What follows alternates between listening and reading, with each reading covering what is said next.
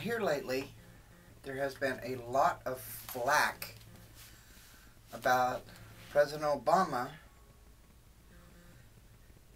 bowing to the king of Iran, or prince, king or prince. Anyway, he's royalty.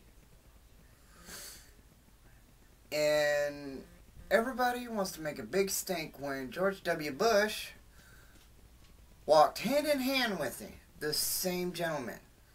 Practically made out with the man, from what I can tell. so, um, all of you want to throw a big conniption fit about it. You wish to make a scene, the right wing people, that's who I am talking with to at this moment, about him bowing. Bowing is a sign of respect. In most cultures, like Japan, China, I believe Korea, it is a sign of respect. He shook his hand, which in America is a sign of respect as well. So, get over it. Okay? It's not that big of a deal. It really does not matter that President Obama bowed to the gentleman because all it was was a sign of respect.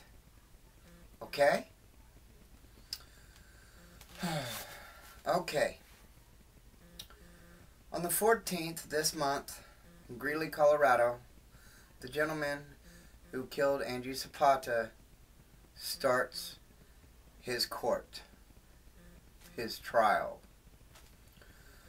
Me, hopefully, I hope they fry his ass. Because the man, he took a life and then tried to blame it on the fear of his gang killing him because he slept with a transsexual.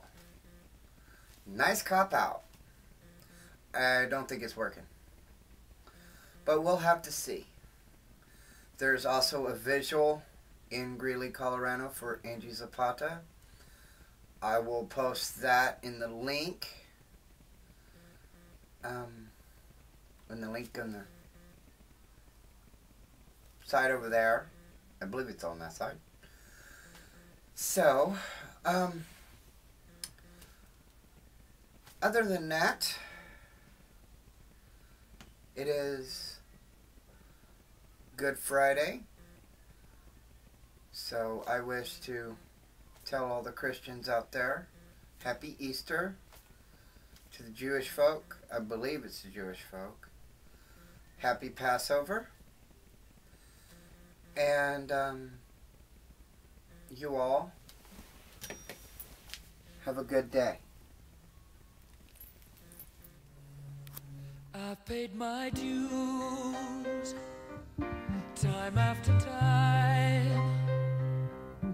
I've done my sentence, but committed no crime.